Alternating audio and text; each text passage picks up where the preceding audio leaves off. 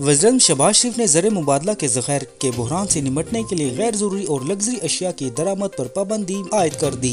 शबाज शरीफ की जेर सदर अला सदा का इजलास हुआ, जिसमें मुल्क की तशवीशनाक मुआशी सूरत हाल का जायजा लिया गया और शुरा ने मुआशी मुश्किल से निमटने और रुपए की गिरती हुई कदर को संभाला देने के लिए सख्त फैसले करने पर इतफाक किया। पाकिस्तान तहरीक इंसाफ, पीटीए के रहनमा और सबक वजी इतलात फवाद चौधरी ने कहा कि मौजूदा इम्पोर्टेड हुकूमत को जाना ही है। खुद नहीं जाएँगे तो निकाले जाएँगे।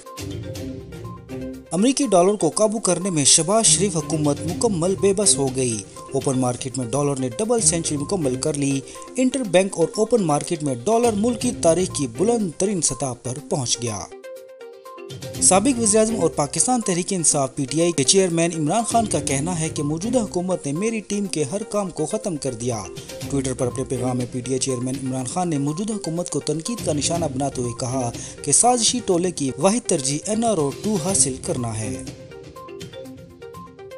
एहतसाब अदालत ने पाकिस्तान मुस्लिम लीग नून के रहनमा और सबक वफाकी वज़ीर खजाना इसहाक डार के दोबारा दायमी वारंट गिरफ्तारी जारी कर दिए एहतसाब अदालत के जज मोहम्मद बशीर ने सबक वज़ीर खजाना इसहाक डार के खिलाफ आमदन से ज़्यादा असासों की रेफरेंस की समात की, जिस दौरान कौमी एहतसाब ब्यूरो, नैब पर प्रोसिक्यूटर अफजल कुरैशी और शरीक मुलजमान के वकला अदालत के रूबरू पेश हुए।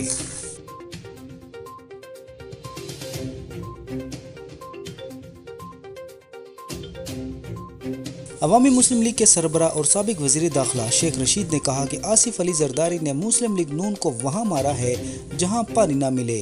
निगरान वजी अजम के लिए मीशत दानों के इंटरव्यू हो रहे हैं और बेहतर है कि लॉन्ग मार्च से पहले इलेक्शन की तारीख आ जाए।